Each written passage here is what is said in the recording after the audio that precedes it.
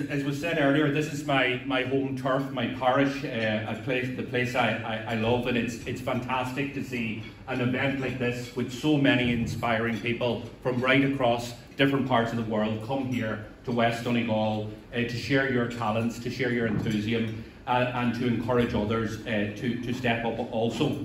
I, I, I also want to thank Georges uh, Nonesi, uh, who, as you know, the director of Demokritos, the Greek National Centre for Scientific Research. His commitment is demonstrated by the fact that he had to depart earlier this uh, morning in order to be in Athens for a meeting uh, tomorrow morning. Uh, his commitment is exemplified at the cooperation at the heart of the European tech community, and I'm sure those who heard his keynote address were inspired and encouraged by it. And I would be remiss, because it's been mentioned a number of times already tonight, to ignore the fact that we gather under Mount Errigal, which some of you may have passed on your way in. Uh, others, I hear, may be climbing tomorrow.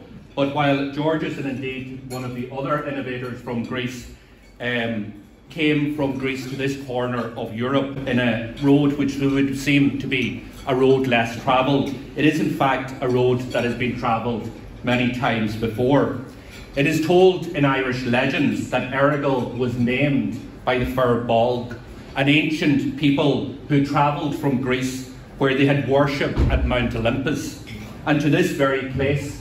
And because of its beauty and inspired by its beauty, they named Errigal, Errigal as an oratory, and they worshipped Mount Errigal as they did Mount Olympus before them. So the connection between that road less travelled in Greece, and little did many of you know that we gather here tonight under Ireland's own very own Mount Olympus.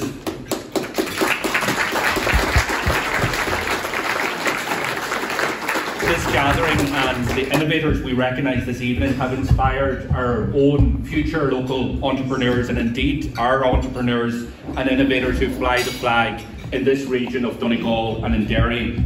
And those who travelled here Fir Bolg took a road less travelled from different parts of Europe here to the edge of Europe to this Gaeltacht community. And I believe that you have all discovered over the past number of days that by taking the road less travelled, a region that is rich in the possibility uh, as a place of ideas and innovation, at this second annual MIT Technology Review Innovators Under 35 European Conference has brought all of you speakers and from research institute, companies and universities from across our continent to here, and I thank you for doing that.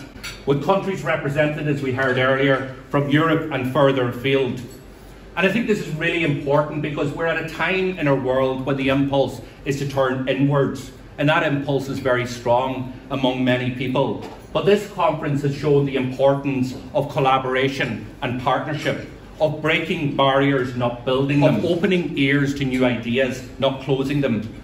Communities, no matter where they are, face common challenges. They face challenges from healthcare to climate breakdown to sustainability to conservation. And our 35 innovators have shown the novel applications of technology in diverse areas from artificial intelligence, as we heard earlier on, to biotech, and how this can be harnessed to address those common challenges right across different communities. Their achievements reveal a common thread, and that thread is that the power of the idea, when fostered, is limitless. And I think that's a positive and a very powerful message that we have from this gathering.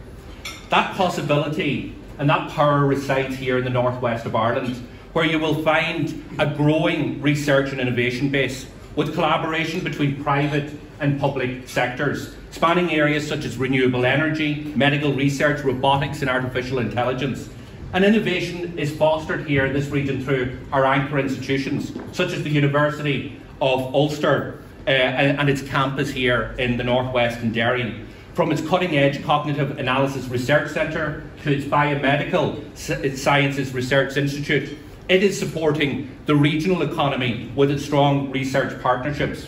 Another one of our anchor institutions is the Atlantic Techno Technological University, uh, a really welcome development that we've seen over the last number of years, that amalgamation, as was mentioned earlier by Orla. And there we see from its Centre of Advanced Manufacturing to its WISER Lab, which applies research and provides solutions using wireless systems across many sectors. We obviously have CoLab here in Letterkenny, which has grown into a respected innovation ecosystem where entrepreneurs have transformed their business ideas into successful enterprise. And our region is also the home of business ideas and innovators and organisations and companies that are at the cutting edge of new technology. From Randox, based in Dungloe, who are world leading in terms of science in tackling disease and in tackling illness, to Optum in Letterkenny, which harnesses data and information technology to drive sustainable health and personalised care to Catalyst, that independent, not for profit organisation that fosters entrepreneurship and innovation. One of them and more have sponsored this event, and I want to thank you for being so flexible and to sponsor such a really important initiative. For my to all the sponsors.